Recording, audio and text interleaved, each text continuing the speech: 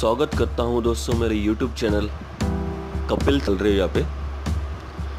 मैं रिक्वेस्ट करूँगा दोस्तों आपसे कि अगर आपने मेरा चैनल अभी तक सब्सक्राइब नहीं किया है तो तुरंत आप मेरे चैनल को सब्सक्राइब करें और बेल आइकन को भी दबाएँ, ताकि मैं जो भी वीडियो बनाऊँ, वो आप तक पहुँचा सकूँ।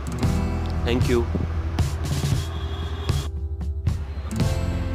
तो फ्रेंड्स आज मैं आपको बताऊँगा कि APR यानी कि एनुअल परसेंटेज रेट इसका फाइनेंशियल टर्म्स में क्या मतलब होता है? ठीक है दोस्तों? तो friends A P R annual percentage rate the annual cost of a loan including all fees and interest the annual cost of a loan, including all fees and interest. Expressed as a percentage. Expressed as a percentage. उसी को ही APR बोलते हैं दोस्तों. Annual percentage rate ठीक है दोस्तों?